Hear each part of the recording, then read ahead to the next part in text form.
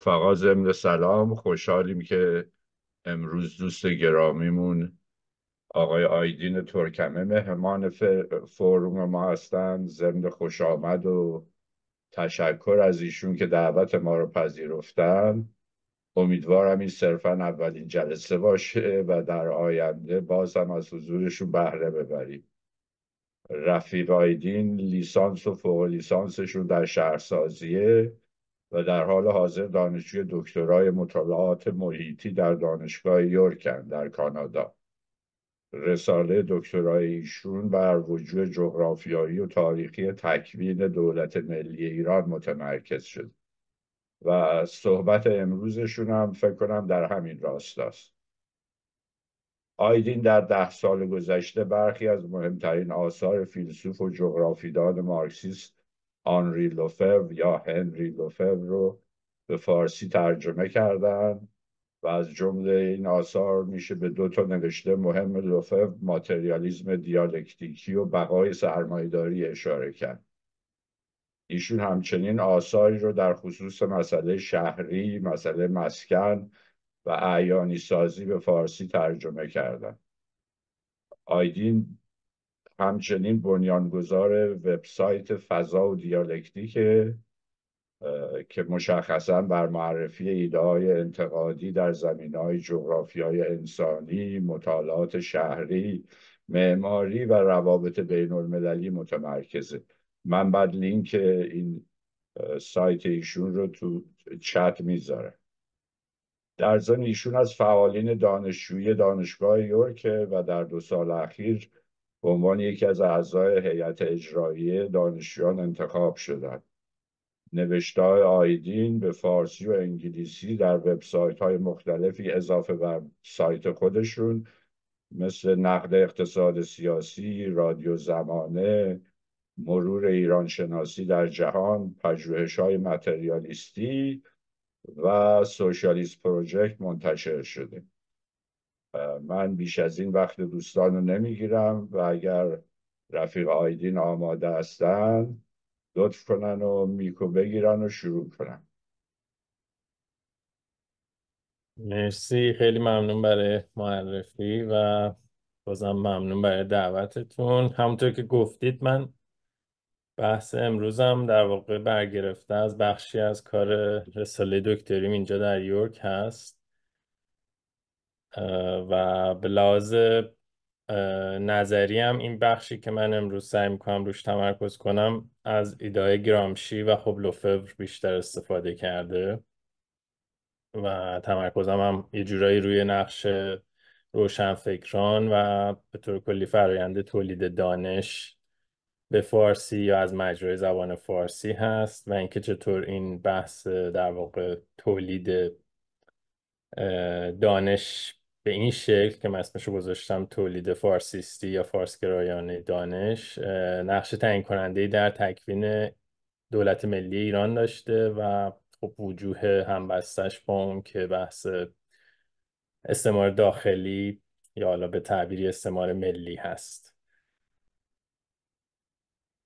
شروع بحث با این نکته هستش که در واقع من فکر می‌کنم اگر نگاهی بندازیم به متون تولید شده در زیل اون چیزی که تحت عنوان ایران استادیز می‌شناسیم و از اون گسترده تر تاریخ نگاری های ایران به طور کلی فکر می‌کنم مسئله زبان که خب خیلی تعیین کننده هست توی بحث روابط هژمونیک یک موضوعیه که تقریبا همچنان توی ادبیات به شکل عمده قایب هست. نه اینکه کاری صورت نگرفته ولی خب خیلی فرعی و حاشیه‌ای بوده کارها. متاسفانه اون روایت قالب معمولا به این مسئله به شکل سیستماتیک حداقل نگاه نکرد. نکته ای که مهم هست به نظر من این هست که مثلا اگر ما بحث سابالترنیتی یا فرودستی گرامشی رو مبنا قرار بدیم یه نکته که خب توی اتفاقا خانش ها از گرامشی هم قایب هست و از جمله مفاهیمی مثل سابالترنیتی این هستش که معمولا این خانش ها یک سویه هستن و یه جورایی تحریف اون چیزی که حالا گرامشی یا خانش های انتقادی از گرامشی ارائه می‌کنن. مثلا در خصوص بحث سابالترنیتی معمولا اینطور تصور میشه که فرودستی یک وجه فیزیکی داره یک سلطه فیزیکی هستش که تعریف کننده سابالترنیتی هستش. معمولا اون وجه غیر فیزیکیش یا وجه مفهومیش قایب هست و مثلا بحث نمیشه که ناتوانی در پرورش یک جهانبینی منسجم خودش بخشی از می‌تونه موضوع باشه و باعث بشه که یک سری از گروه ها یا طبقات جامعه نسبت به سایر گروه ها و طبقات فرودستتر تلقی بشن. و خب همین عدم توانایی در پروروندن یک ایدئولوژی یا یک جهانبینی منسجم از سوی برخی طبقات و گروه ها اتفاقا مانع میشه که به شکل فیزیکی هم بتونن با اون سلطه فیزیکی در واقع مقابله بکنن. یعنی این جدایی بین بچه مفهومی و بچه فیزیکی توی مفهوم مثلا سابالترنیتی به نظر من تعیین کننده است در اون چیزی که من میگم باعث شده مسئله زبان برای مثال توی ادبیات موجود نادیده گرفته بشه و کمتر بهش پرداخته بشه. توی همون قالب بحث فرودستی گرامشی اگر نگاه بکنیم می‌بینیم که خب توی برخی از متون انتقادی تاکید شده که نداشتن روشنفکر در واقع مختص به خود باعث بشه که طبقات خاصی نتونن در واقع اون جایگاه فرودست خودشون رو به چالش بکشن. و مسئله فقط این نیست چون که این در واقع تحمیل زبانی و فرهنگی که به شکل مثلا سیستماتیک در ایران به طور خاص بیش از یکصد ساله که داره اجرا میشه از مجرای حالا نظام آموزشی مرکزگرا و غیره. باعث میشه که اون برداشت ها و مفاهیمی که از زندگی خودمون داریم به عنوان گروه های فروده است یه جورایی در تضاد قرار بگیره با اون واقعیت زندگی روزمره خودمون. چون برای مثال اونهایی که فرهنگ و زبانشون زبان فارسی نیست ما می‌دونیم که به واسطه اون تحمیل زبانی و فرهنگی که صورت گرفته بعد مثلا سالها یک تضادی رو ممکنه در واقع توی زندگیشون مشاهده بکنن بین اون سیستم فکری یا اون جهانبینی که در واقع از مجرای نظام آموزشی و رسانه‌ای تحمیل شده بهشون در مقابل اون چیزی که حالا مثلا اون پیشینه فرهنگی خانوادگی و به اصطلاح سبک زندگی و شیوه زندگی خودشون هست. یک تضادی بین زندگی در واقع زندگی روزمره و اون برداشت های تحمیلی که در قالب دانش فارسیستی به نظر من تحمیل شده. نکته مهمتر به نظر من این هستش که این فرایند تولید دانش فارسیستی که گفتم ظرف یکصد سال گذشته در جریان بوده و هنوز هم هست در پیوند یا یک جوری همبسته هست با اون چیزی که میشه استعمار داخلی خوند. و خب می‌دونیم که توی ادبیات مارکسیستی این موضوع تقریبا به طور کامل قایب بوده دست کم در نسبت با وضعیت ایران. نکته که من اینجا در واقع تاکید می‌خوام بکنم این هستش که اون کاری که توی رساله هم تا حدی سعی کردم تمرکز بکنم این هست که فکر می‌کنم این مکانیسم تولید دانش در واقع یکی از اصلی ترین مکانیسم هایی بوده که چیزی که ما به عنوان ایران الان می‌شناسیم تحت عنوان یک ملت با یک ملت واحد که مشخصا فارس یا پرژن تلقی میشه به اتکای اون مکانیسم تولید دانش و در واقع سازوکارهای دولتیش امکان پذیر شده. و خب همین تولید این مفهوم یا برداشت از ایران به عنوان یک ملت واحد خودش دستاویزی بوده و در واقع مبنایی بوده برای آن چیزی که من میگم تحت عنوان تداوم استعمار داخلی. اگه بخوایم یه ذره در واقع تاریخی نگاه بکنیم. مثلا من تو این قسمت دوست داشتم بعضی از در واقع نگاه بعضی از روشنفکران ایرانگرا رو مطرح بکنم. اینجا ارجام هم به کتابی از در واقع مسکوب از مسکوب تحت عنوان ادبیات و سرگذشت اجتماع. فقط می‌خوام در واقع یک زمینه ای پس زمینه ای رو آماده بکنم. برای اینکه بگم منظورم از زبان فارسی و نقش که زبان فارسی داشته در پیوند با شکلگیری ملت ایران از مجرای دید این روشنفکران چی بوده؟ مسکوب که حالا خودش هم در واقع به نظر من می‌تونه در قالب یک ناسیونالیست در واقع دست بندی بشه نگرشاش. توی این قسمت تمرکزش روی نگاه برخی از روشنفکران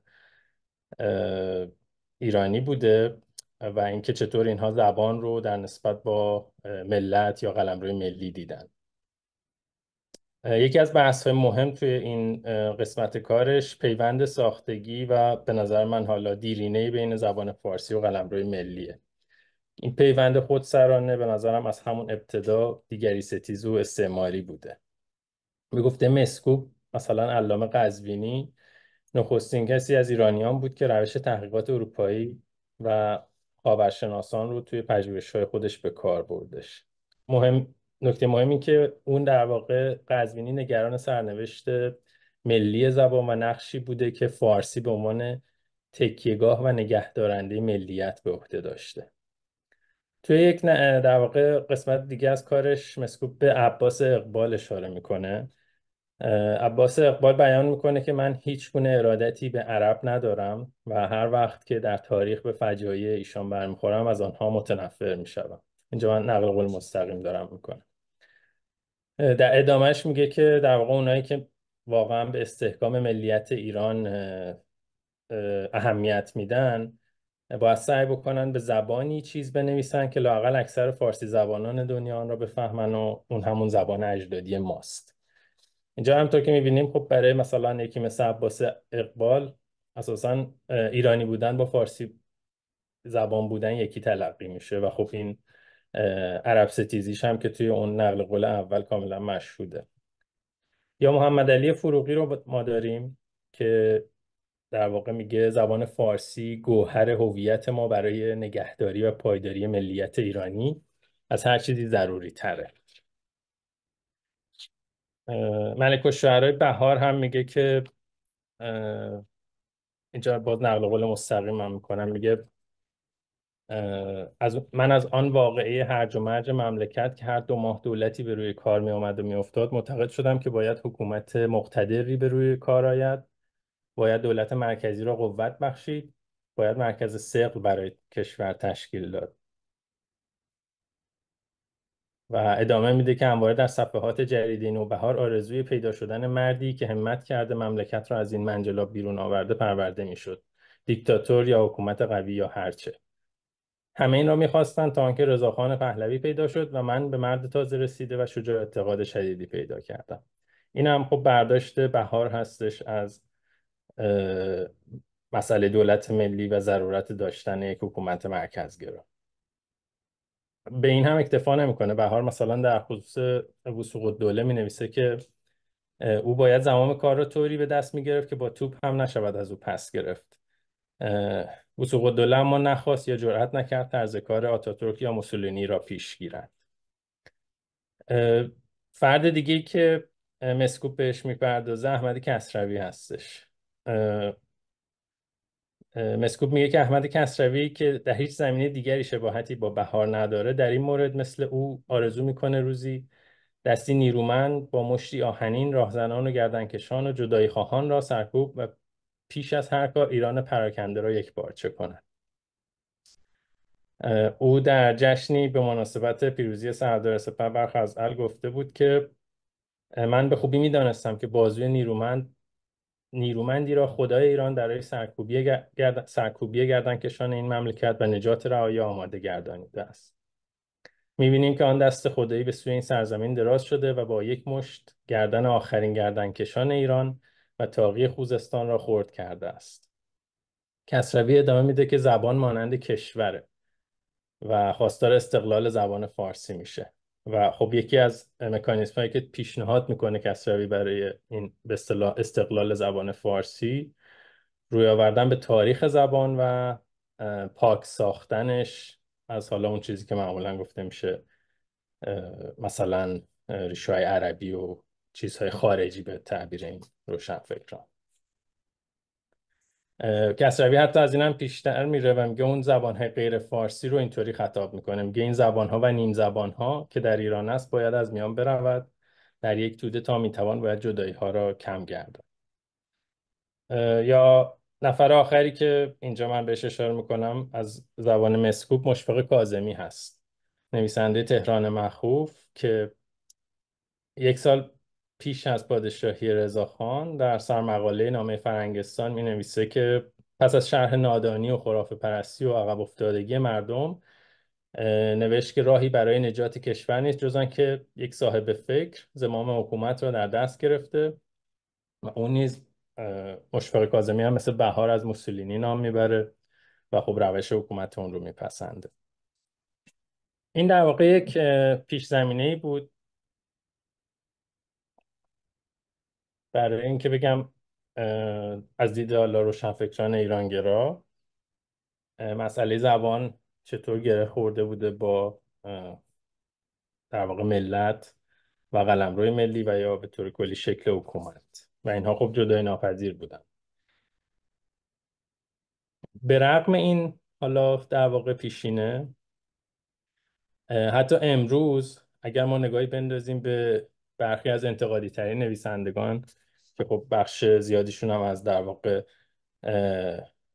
جبهه چپ هستن. باز می‌بینیم که هنوز این نسبت فارسی با ایران تشکیل ایران به عنوان دولت ملی خیلی در کانون توجه نبوده. یا به بیان دقیقتر خود ایران به عنوان یک دولت ملی تاریخی نشده. مثلا پیمان وهابزاده اگرچه نقش زبان فارسی رو برجسته می‌کنه توی تکوین دولت ملی ولی باز تاکید داره که ایران از زمان باستان وجود داشته و دست کم برای هزاران سال. درچه نمیان اون وجه تکوین دولت ملی رو به عنوان یک تغییر یا تحول کیفی در تاریخ آنچه که به اصطلاح ایران نامیده میشه؟ برجسته بکنن یه رو کرده مشابه رو مثلا تو کار تورج عطابکی هم میشه پیدا کرد. که خب این خیلی من در واقع مسلط توی گفتمان غالب حالا افرادی که من نام می‌برم به خاطر اون استفاده ای هست که من از کارهاشون کردم. وگرنه دیگرانی هم قطعا هستن توی این مجموعه. اتابکی مثلا ایرانی بودن و Persian بودن رو در واقع معادل هم می‌گیره توی کارش. و ایرانی بودن در این تعبیر مشخصا به عنوان فارسی زبان بودن تلقی میشه. در حالی که خب ما می‌دونیم اگر ما ایرانی بودن رو با Persian بودن یا فارس بودن تلقی کنیم در واقع داریم به شکل دست کم غیر مستقیم همون برداشت هایی که مثلا روشنفکران در صد سال پیش در خصوص نسبت ایران و زبان فارسی داشتن رو باز تولید می‌کنیم و خب خواهناخا به شکل غیر مستقیم اون نورکرد ناسیونالیستی و فارسیستی رو باز تولید می‌کنیم.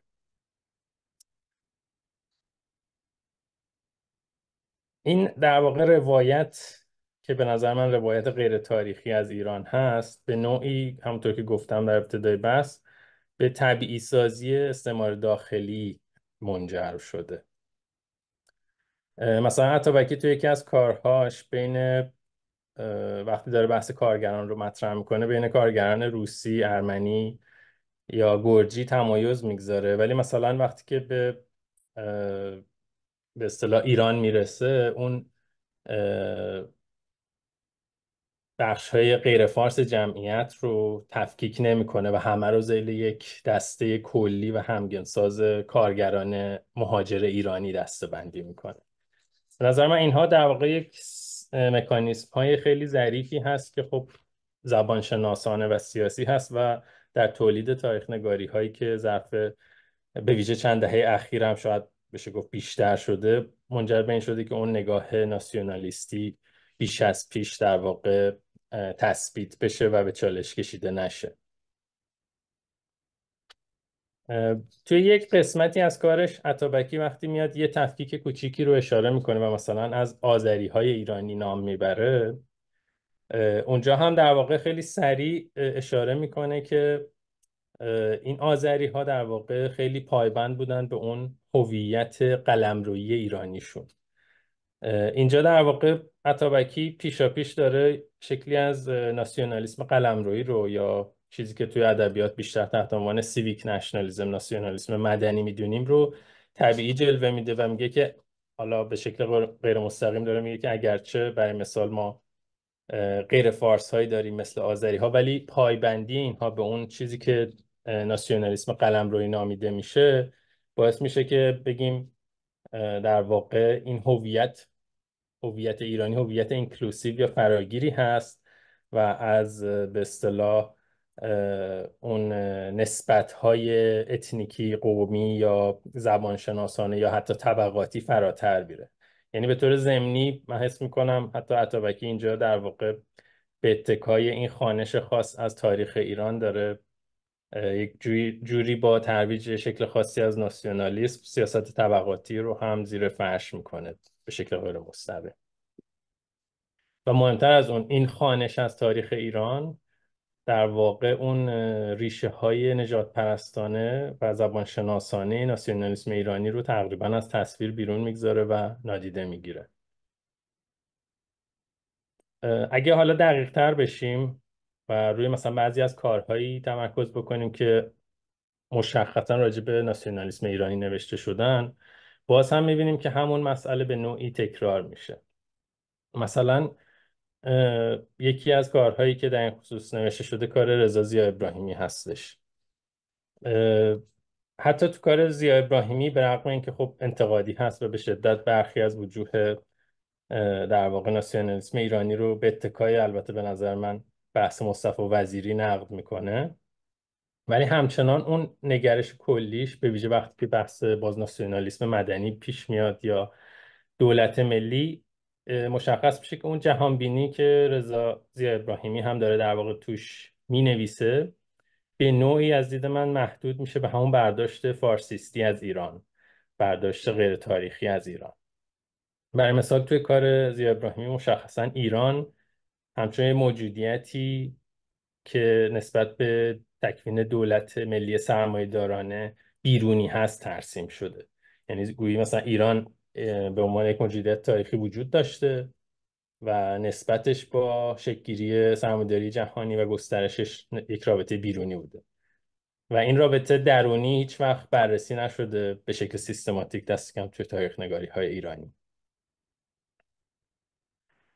و خب میگم حتی در آثار این چنینی که منتقد ناسیونالیسم هستن ولی خب برای مثال تاکید میشه که یک تمایزی وجود داره بین مثلا ناسیونالیسم قومی و ناسیونالیسم ملی یا مدنی ببخشید ناسیونالیسم مدنی.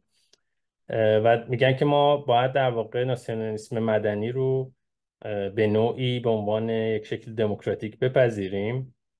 ولی من فکر می‌کنم این نوع خانش همچنان خود شکل دولت ملی و سازماندهی فضایی مبتنی بر استعمار داخلی رو کلا از تصویرش بیرون می‌گذاره.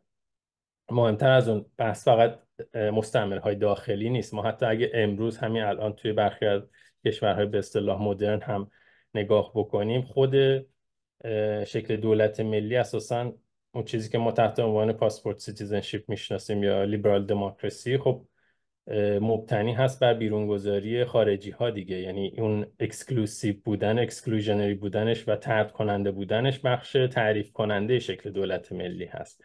ولی خب توی این خوانش های نسبتا انتقادی از ناسیونالیسم من فکر می‌کنم چون خود دولت ملی مسئله نیست براشون در واقع همچنان توی همون جهانبینی فارسیستی و دولت گرایانه در واقع می‌بینن ماجرا رو. و خب در نتیجه مثلا آلترناتیو های سازماندهی سیاسی فضا هیچ وقت مطرح نمیشه. شکل های مثلا اون شکل های بدیلی که مثلا توی سنت های سوسیالیستی و آنارشیستی ما داریم هیچ وقت مورد اشاره قرار نمی‌گیره و حتی توی تاریخ خود ایران هم اگر نگاه بکنیم معمولا هر جا جنبش های استقلال طلبانه وجود داشته خب با تعابیری باشون برخورد میشه که معمولا اونها رو سعی میشه از تصویر کلی تاریخ یا بیرون بگذارن یا چنان نفیشون بکنن که در واقع امکان بازندیشی در خصوصشون وجود نداشته باشه. حالا اگر بحث من بخوام یه ذره توی سطح نظری تر هم دنبال بکنم من فکر می‌کنم این خانش خاصی که مثلا تو کار رضازی ابراهیمی و دیگران هم هست به نوعی هم بسته هست با منطق مرحله گرایانه یا stagism یا همون بحث transition debate توی ادبیات مارکسیستی که به نظر من یک خوانش دوگانه انگار و دوالیستی هستش یا خوانش های دوگانه انگار رو ترویج می‌کنه. و مهمتر از اون نسبت به خاص بودگی های تاریخی و جغرافیایی پدیده ها تقریبا این خوانش مرحله گرایانه در واقع بی توجه هستش مثلا حتی کارهایی که اومدن یک قدم به نظر من باز جلوتر رفتن و مسئله فضا و مسئله تاریخ و جغرافیا رو به شکل جدیتری در اون ادبیات تحلیلیشون مد نظر قرار دادن. باز هم ما همین خانش مرحله گرایانه رو می‌بینیم. مرحله گرایانه هم اینجا منظورم مثلا همون تعبیری هست که ما باید از یک شکلی از دولت پیشاملی یا غیر ملی به یک دولت ملی گذر کنیم یا گذار کنیم. چرا؟ چون اون به اصطلاح دموکراتیک تر هست و حتی تو بعضی از تعابیر در واقع پایان یا انتهای اون شکل دموکراتیک سازماندهی سیاسی فضا هستش. یه مثال دیگه مثلا توی در واقع ادبیات مارکسیستی کار کاوه احسانی هستش.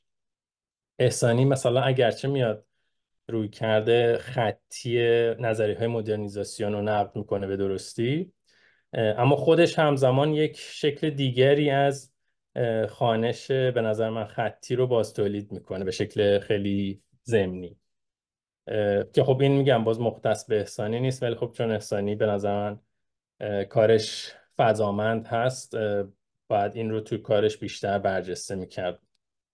مشخصا مثلا تاکید می‌کنه که توی کارش استعمار بریتانیا رو در مقابل ناسیونالیسم ایرانی قرار میده.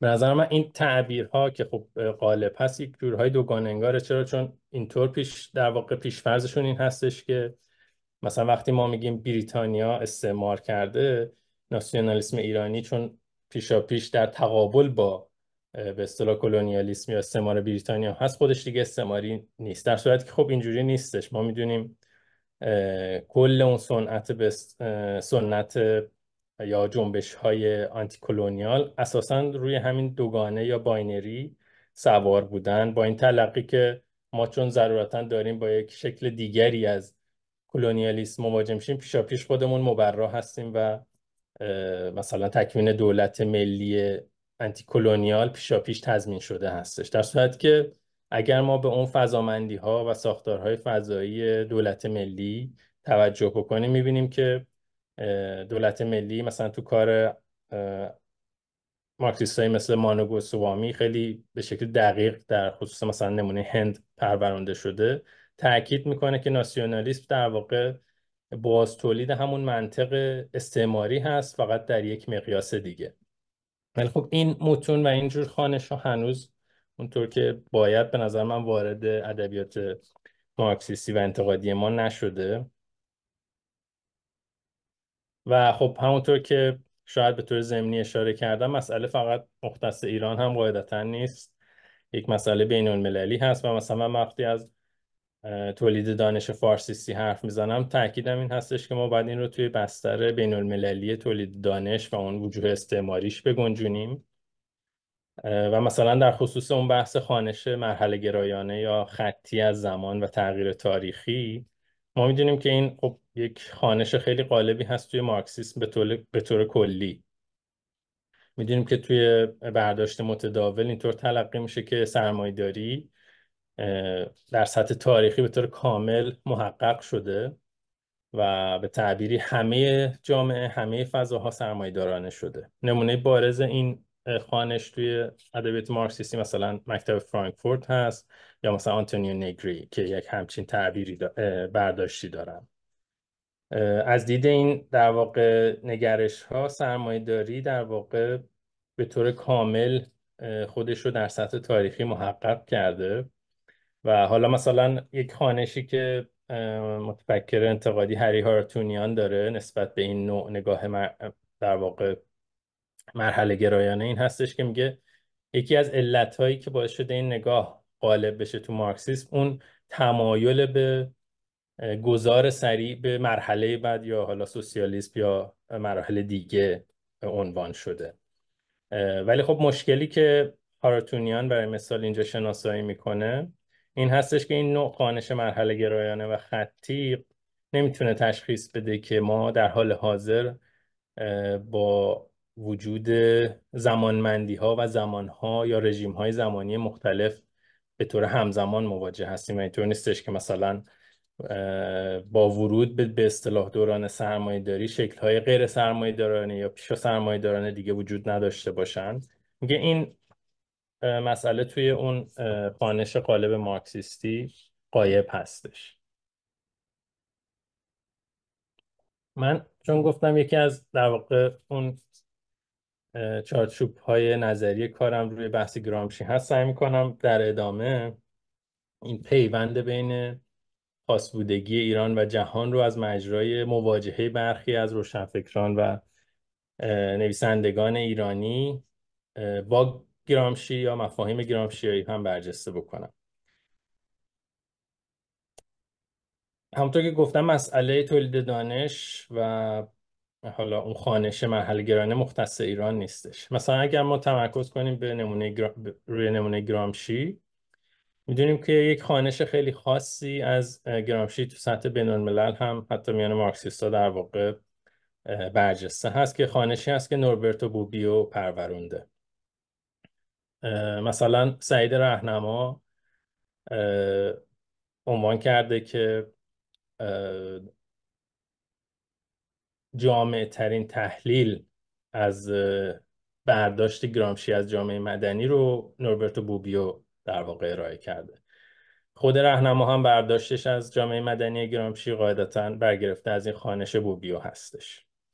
ولی خب نکته مهم این هستش که مثلا ما اگه نگاهی بندازیم به منتقدان یا خانش انتقادی که خانش بوبیو رو نقد کردن متوجه میشیم که اون برداشتی که بوبیو از گرامشی ارائه میده اتفاقا غیر دیالکتیکی هست و حتی یک جورایی غیر گرامشیایی مثال بارزش هم این هستش که برخلاف اون چیزی که بوبیو معتقده گرامشی وجوه مختلف واقعیت مثلا اقتصاد، سیاست، دولت و فرهنگ رو از هم جدا نمی‌کنه. ولی بوبیو مشخصا جوری گرامشی رو تفسیر می‌کنه که انگار مثلا باز با یک دوگانه مواجه هستیم. ظاهرا مثلا دولت و جامعه مدنی دو موجودیت مجزا هستند. در صورتی که اگر ما به خود گرامشی و خوانش انتقادیش مراجعه بکنیم می‌بینیم که فلسفه حالا پراکسیس یا فلسفه دیالکتیکی گرامشی یک جور فلسفه non-separation یا عدم جدایی هست. همون بحث relationality و اتفاقا وجه ممیز کارش این بوده که دولت و جامعه مدنی رو جدا نمی کرده و مثلا بحث طبقه رو فقط اقتصادی نمی‌دیده همزمان فرهنگی و سیاسی هم می‌دیده. ولی خب این توی اون خانش قالب قایب هستش. یک نمونه دیگهش مثلا علیرضا بهتویی هستش. میگه که گرامشی در واقع توسعه سرمایهداری رو با تغییرات در ساختار اقتصادی تعریف نمی‌کنه. بلکه با ظهور جامعه مدنی تعریف می‌کنه. اینجا باز می‌بینیم که بهتویی هم در واقع یک جورهایی اقتصاد و جامعه مدنی رو جدا می‌کنه با ارجاع به گرامشی در صورت که همونطور که گفتیم خانش های انتقادی گرامشی چنین چیزی رو رد می‌کنه. و خب این بچه جهانی که من گفتم اشاره کردم بهش باز اینجا هم در واقع خودش رو نشون میده. توی جهان انگلیسی زبان برای مثال اکثر خانش های قالبی که از گرامشی هست مثلا پست خانش پست مارکسیستی مثل موف یا خانش های نوگرامشیانی که برگرفته از ایده های رابرت کاکس هستش همگی یک جورهایی همین برداشت بوبیو رو از گرامشی ملاک قرار دادن در صورتی که ما نشون دادیم حالا تا حدی این برداشت چقدر تقلیلگرا و غیر دیالکتیکیه. این حالا مثلا بحث جامعه مدنی بود و نحوه مواجهه روشنفکران ایرانی باهاش. ولی خب توی مفاهیم دیگه هم این بحث دوباره در واقع خودشو نشون میده. مثلا وقتی بحث راجع به تغییر اجتماعی یا انقلاب هست باز ما می‌بینیم که هر, هر موقع ارجاعی به گرامشی یا مفاهیم گرامشیایی هستش باز همون برداشت دوگانه انگار تقلیلگرا و خطی ملاک قرار می‌گیره.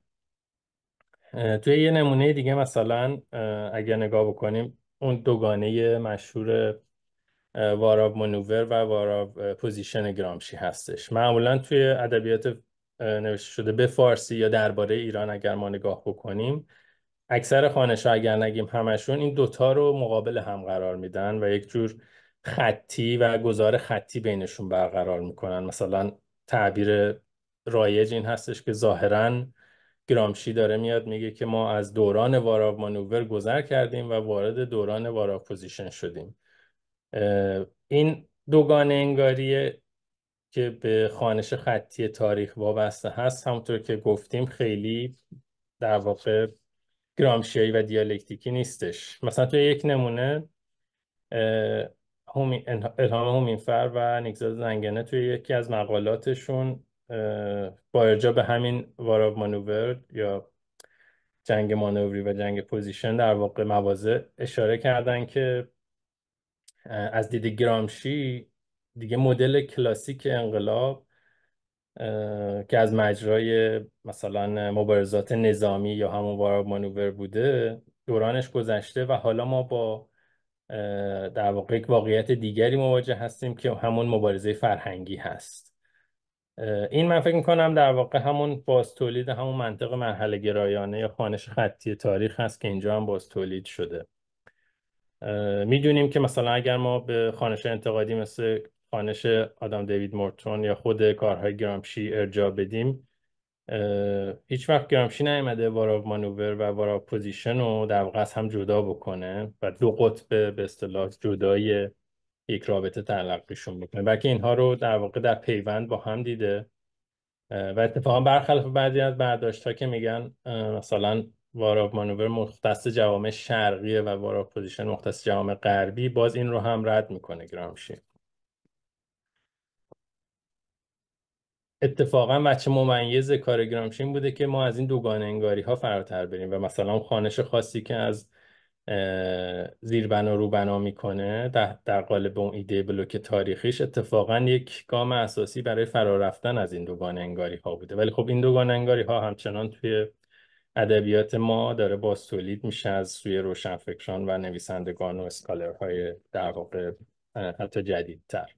یه نمونه دیگه توی حالا که مشخصا بیشتر تو زبان فارسی هم هست نمونه کمال عطاری هست که همون خانش خطی از تغییر تاریخی رو مبنا قرار میده و مثلا یه سری نتیجه هایی که می‌گیره از این خانشش خیلی به نظر من مهم و پرپیامده.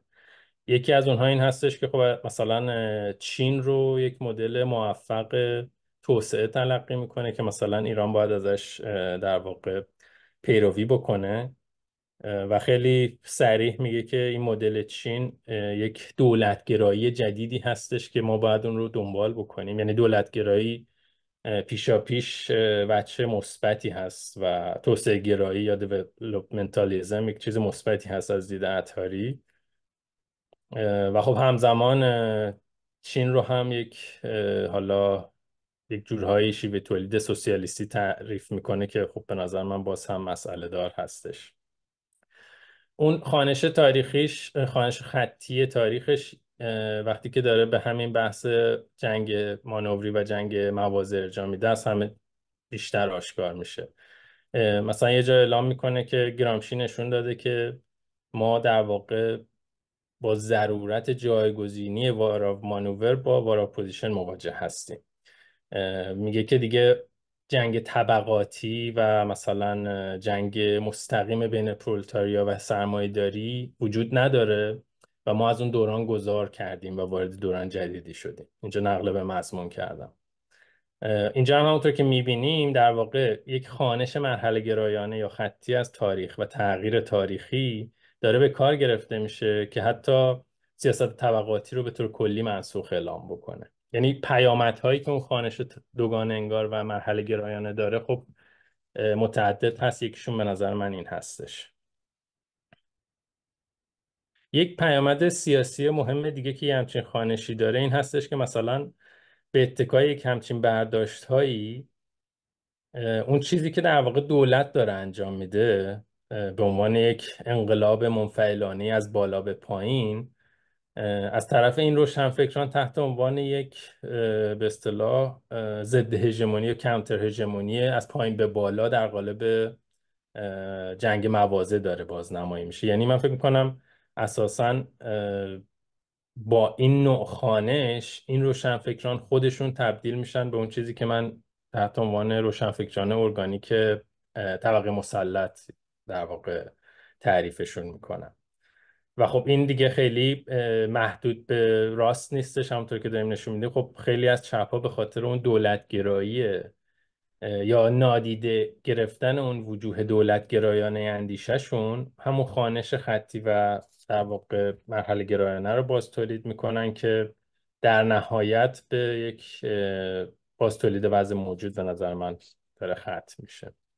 و این مثلا به رغم باز این واقعیت هستش که این افراد دارن ایده های گرامشی رو استفاده می‌کنن و توجه ولی ندارن که مثلا از دید گرامشی این چیزی که اینها تحت عنوان یک کانتر هژمونی از پایین به بالا دارن تعریفش می‌کنن در واقع یک پسیو رولوشن هست که خیلی در بعضی مواقع حتی مشخصا گرامشی تحت عنوان گرایش فاشیستی اونها رو دسته کرده بوده. یک مفهوم دیگه ای که باز توی اون نشون داده میشه که اون خانش خطی از تاریخ چقدر غالب هست بین روشنفکران مارکسیست بحث فرمال سابسامشن و ریل سابسامشن یا تابعیت سوری و واقعی کار نسبت سرمایه هستش. اگر ما به هری هارتونیان دوباره ارجاع بدیم عنوان می‌کنه هارتونیان که این اندیشه مبتنی بر گذار یا منطق جایگزینی بر مبنای این پیشفرض بنا شده که روابط کالایی و پولی در واقع در همه جای جهان مستقر شده و به نوعی با ریل سابسامشن یا تابعیت واقعی و کامل کار نسبت به سرمایه مواجه هستیم.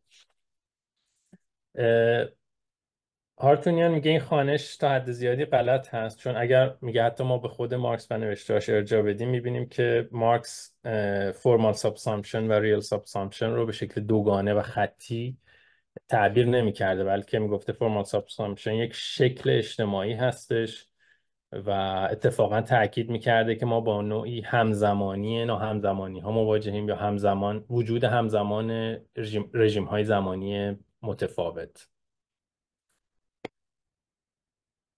این خانش از مثلا بحث تابعیت سوری رو اگر ما برگردیم باز به کار احسانی که من اشاره توی یک زمینه دیگه به کارش کردم می‌بینیم که باز اینجا همون خانش به نوعی غیر دیالکتیکی یا خانش خطی باز تولید شده. مثلا احسانی تو کارش میگه که چون رو خوزستان و در واقع شکلگیری مجتمع های نفتی تو خوزستان تمرکز داشته کارش تاکید می‌کنه که تاریخ خوزستان در بین سالهای 1908 تا 1911 در واقع بیانگر فرایند ریل سابسامشن یا تابعیت واقعی نظم موجوده. یک جای دیگه در تاکید بر همین حرفش اضافه می‌کنه که سرمایه‌داری جهانی به شکل غیر قابل بازگشتی اون شکل‌های به اصطلاح غیر پیشا سرمایه‌دارانه رو نابود کرده. مثلا شکل‌های کشاورزی شکل‌های در واقع دامداری و یا نظم‌های قبیله‌ای و نومادیک یا اشایری رو از بین برده و به طور کلی جایگزین اینها شده. این تعبیر جایگزینی کامل یا همون ترانزیشن یا گذار کامل می‌بینیم که اینجا باز با اتکا به یکی از مفاهیم مارکسیستی داره باز تولید میشه.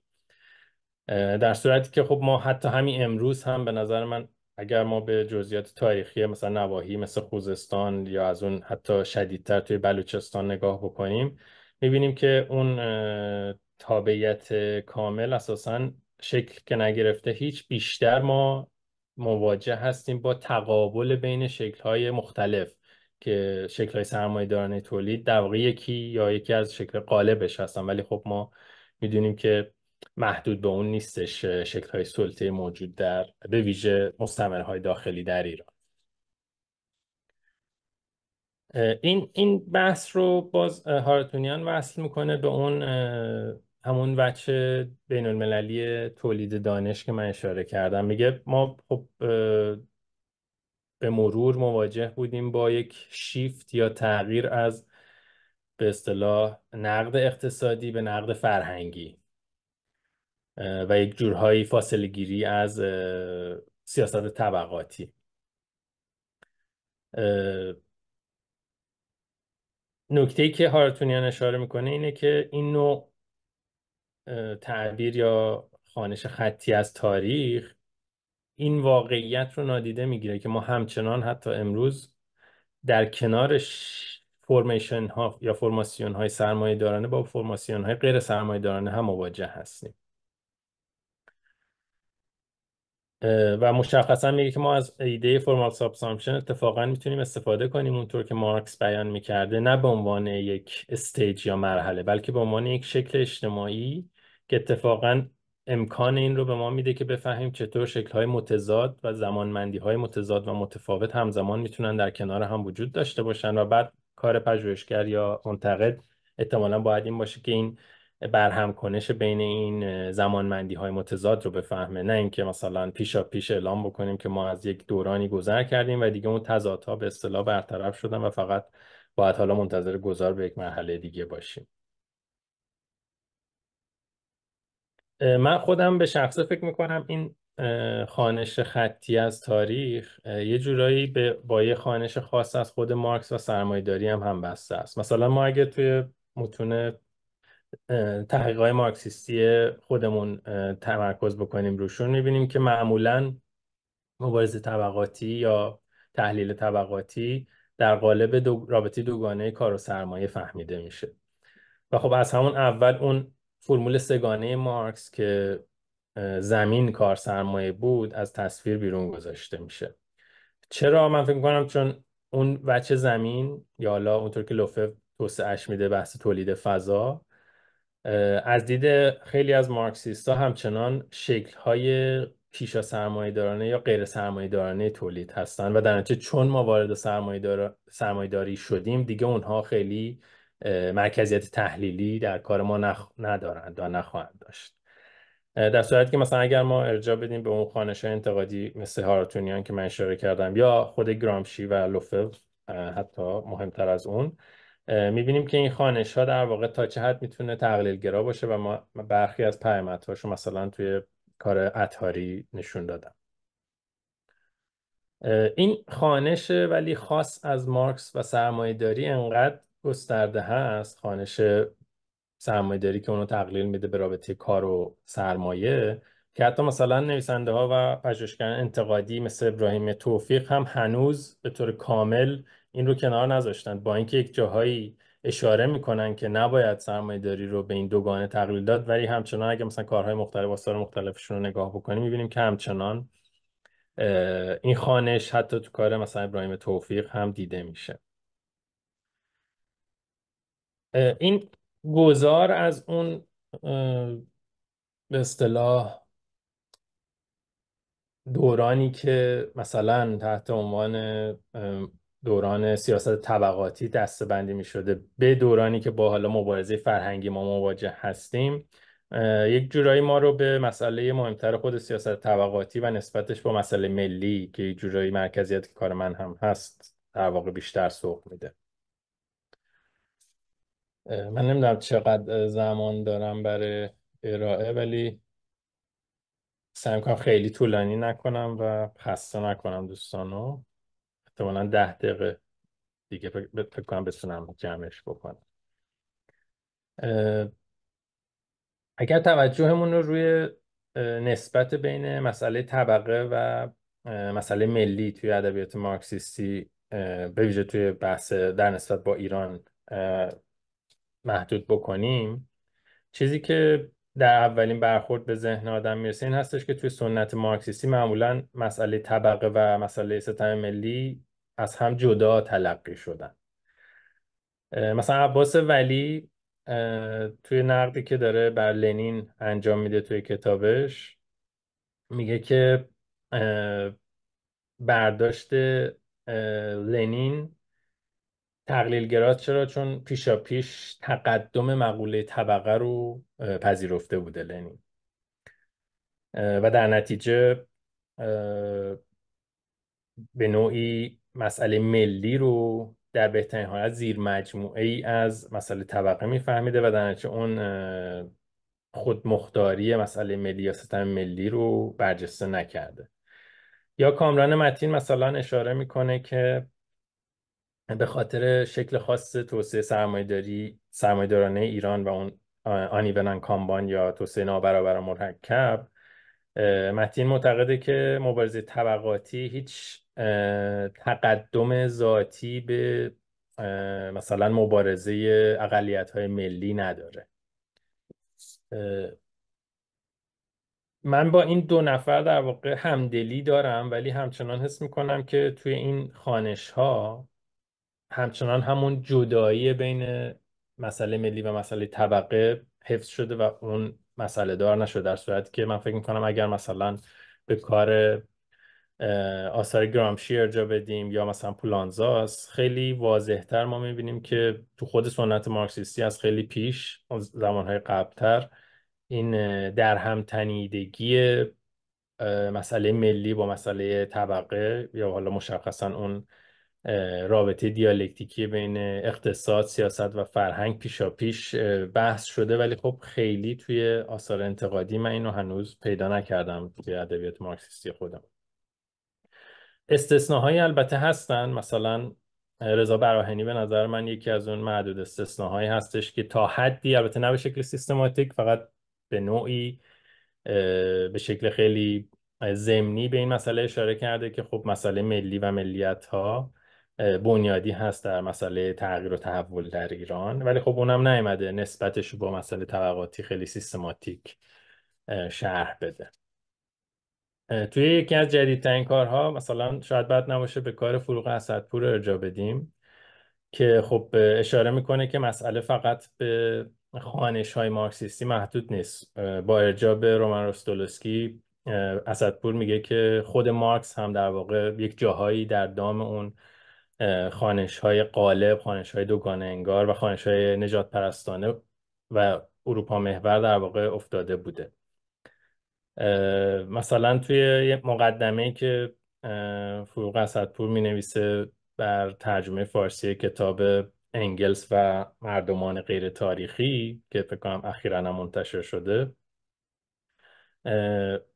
اونجا میاد اون زمینه های اروپا محور و نجات پرستانه که اتفاقا تو کار, تو کار خود مارکس و انگلس هم وجود داشته رو برجسته می‌کنه.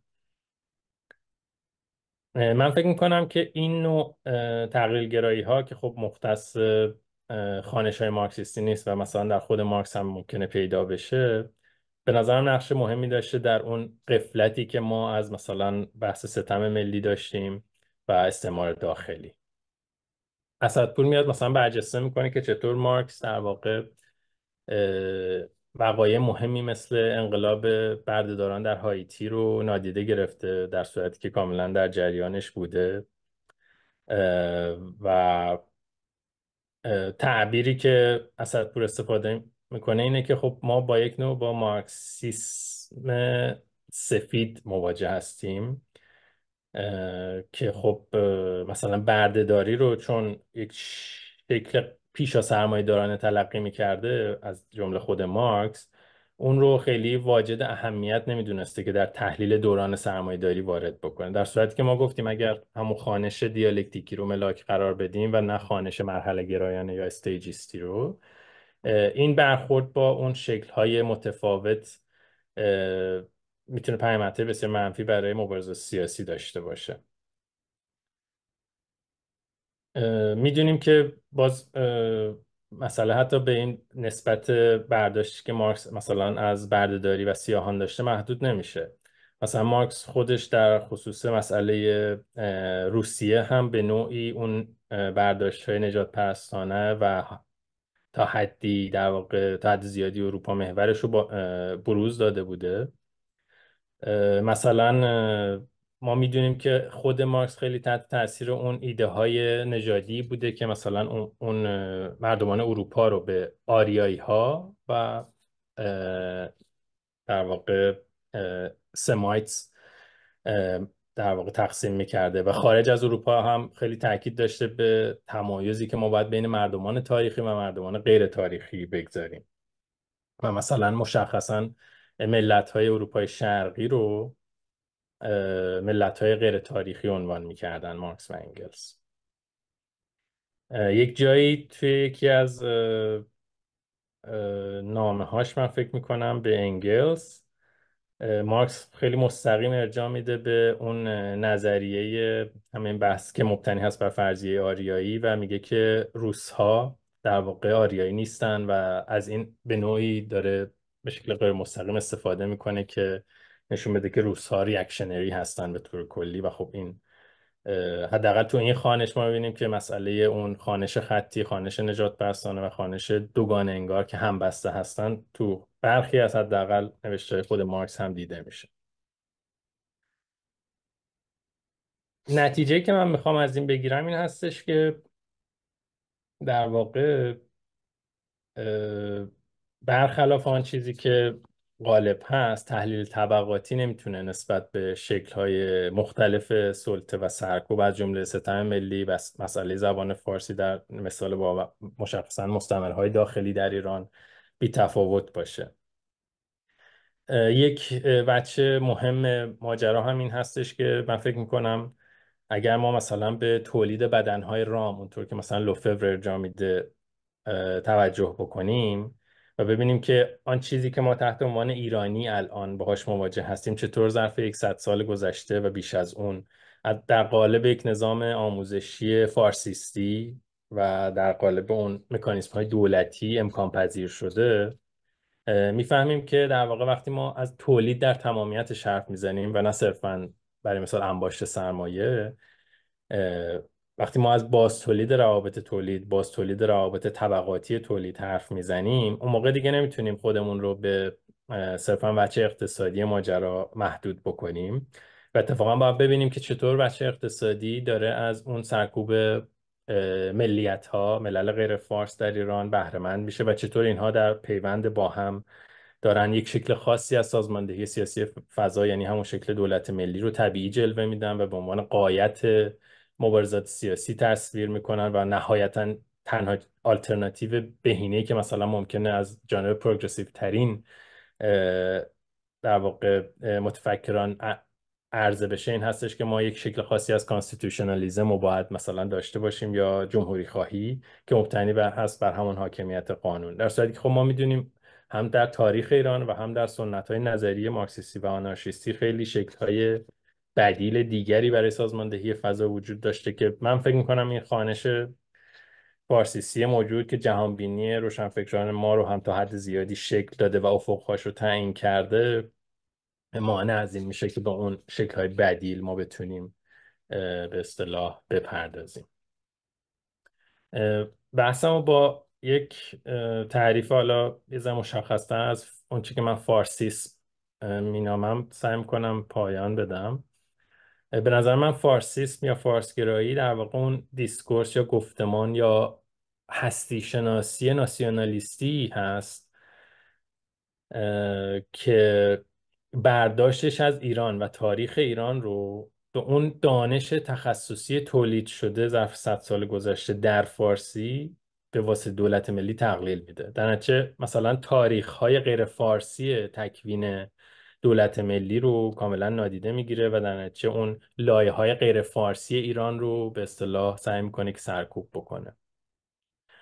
فارسیسم به این معنا تجسم سرکوب شیوه های زیست فرهنگ و زبان های غیر فارسی هستش که به نظر من مستقیما به استعمار داخلی داره در واقع باز تولیدش کمک می‌کنه. از اون مهمتر فارسیسم در این معنا به نظرم اون افق هستی شناختی و شناخت شناخت روشنفکران ایرانی رو تا حد زیادی شکل داده و ما باید دنبال این باشیم که از اتفاقا مجاری غیر فارسی از مجرای ملل غیر فارس و روشنفکران غیر فارس بتونیم این فارسیسم قالب رو به چالش بکشیم و دنبال روزنه هایی باشیم که بتونیم اون تاریخ ایران رو از مجرای غیر فارسیستی بازنویسی بکنیم. من فکر می‌کنم یکی از وظایفی که چپ در این خصوص داره این هستش که فضا رو برای گسترش این خانش های غیر فارسیستی فراهم بکنه و گشوده تر باشه به اون وجوه انتقادی که ممکنه از زاویه روشنفکران غیر فارس بیشتر مطرح بشه و خب خودش رو در معرض یادگیری اونها قرار بده. و شاید از این طریق بشه امیدوار بودش که حالا در میان مدت یا مشخصا بلند مدت بتونیم با به چالش کشیدن این فارسیسم یا شکل تولید دانش دولتی اون خشونت های استعماری که هنوز هم وجود داره در خصوص ملت های غیر فارس یا جمعیت های غیر فارس ایران به ویژه مثلا در این روزها نسبت به بلوچ ها تا حدودی برجسته تر بشه تاریخ نگاری های انتقادی امکان بروز پیدا بکنن و زمینه برای فرارفتن از ناسیونالیسم نه فقط ناسیونالیسم قومی حتی فرارفتن از ناسیونالیسم مدنی هم فراهم بشه. و از اون طریقه که من فکر می‌کنم میشه به آلترناتیف های برای دولت ملی و سازماندهی سیاسی در مقیاس غیر از مقیاس ملی مثلا تحت عنوان بعضی از ایده ها تحت عنوان دموکراتیک میونیسیپالیزم یا شهرگرای مثلا دموکراتیک یا چیزهای شبیه به این وجود داره. هم نظریاتشون موجوده هم در تاریخ نمونه هاش شکل گرفته و وجود داشته. من فکر کنم اینها می‌تونه اون در واقع برخی از وجود مثبت این نگاهی باشه که من دارم پیشنهاد میدم. من دیگه بیشتر از این خستتون نمی کنم ببخشید اگه یه جاهایش انسجام کارم کم بود. ولی خواستم از فرصت استفاده کنم. حالا بخشی از اون مواردی که تو ذهنم بود رو من ظرف سالهای گذشته بیشتر باش درگیر شدم. با شما هم در میان بگذارم و خوشحال میشم. حالا نظر دوستان و انتقاداتشون هم بشنوم و اگه بشه هم فکری بکنیم. ممنون بازم